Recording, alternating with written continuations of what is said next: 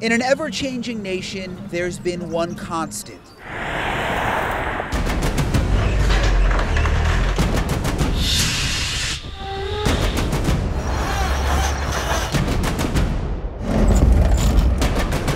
American truckers.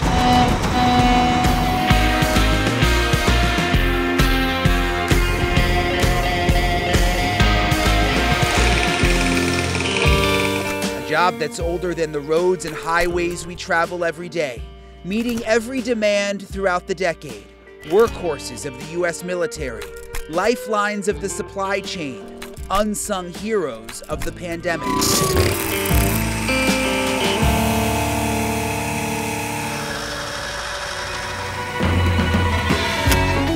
America first turned to truck drivers to reach corners of the country that trains couldn't.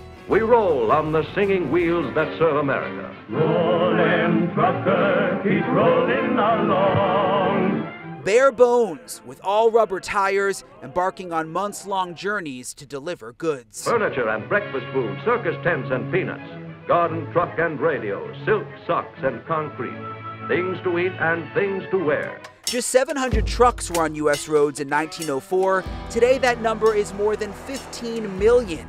And together, they're responsible for moving 70% of everything we eat, drink, and wear. Chris Emy is a third generation trucker. He grew up in a truck.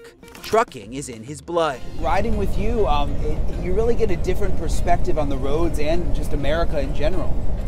You get a front row seat to seeing America. That's, that's really what it is. The front row seat to seeing America is a more than $750 billion industry, relying on men and women behind the wheel in an unprecedented storm. It takes a lot to get the product on the store shelves, and people have no idea what it entails and what the what the drivers entail in putting up with, enduring to get that product on the shelf. March of 2020, the pandemic bringing the nation to a standstill, but demands for goods were never higher. So many truckers kept going to keep the shelves stocked and the gas stations full. Thank you so much.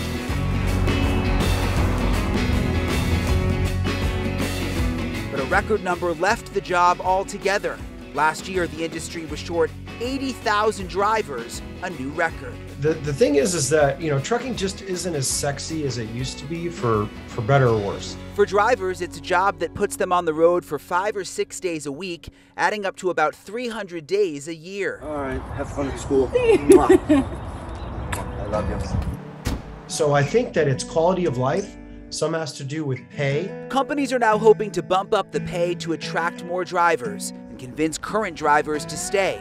Like Walmart, which recently raised its starting salary to at least $95,000 because fewer drivers means fewer goods on the shelves when you need them. you were going to the store and your favorite thing was out it's toilet paper toothpaste tube socks. It doesn't matter. You have some communities that actually can't be serviced by anything but truck. And the stakes have gotten higher, so has the cost to operate. you have to keep the truck running in order to keep the wheels turning in order to keep earning Diesel once $2.87 a gallon in 2010, now over $5. Each tire is $500.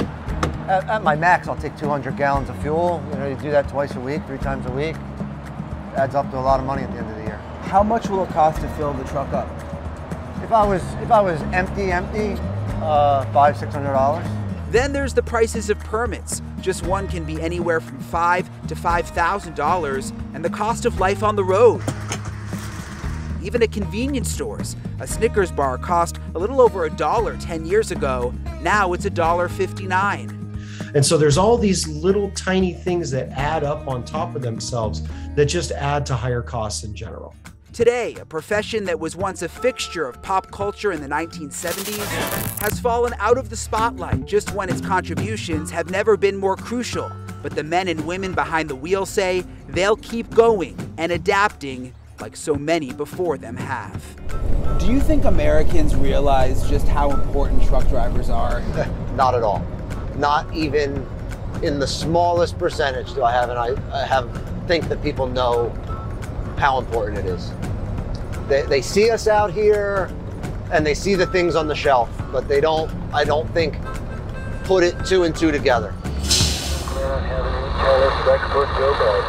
Brian Entin, News Nation. Thank you so much for watching. Make sure to click on the red subscribe button below so you can get more of News Nation's fact driven, unbiased coverage.